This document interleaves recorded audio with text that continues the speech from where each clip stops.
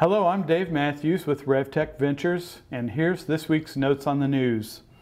Uh, this week I'm coming to you remotely from deep in a retail location at the uh, Christian Science Bible Reading Room in, uh, in the Medallion Shopping Center, where I sometimes volunteer on weekends.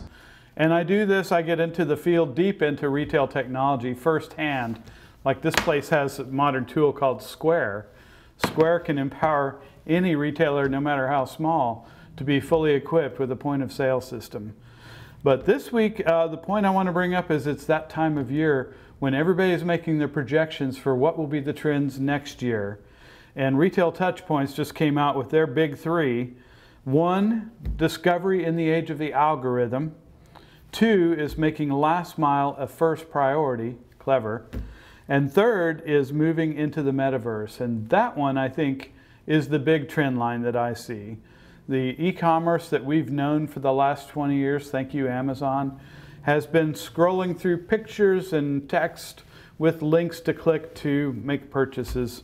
And, and it's really not the kind of natural environment you would shop in. It's more like reading through a book or a catalog.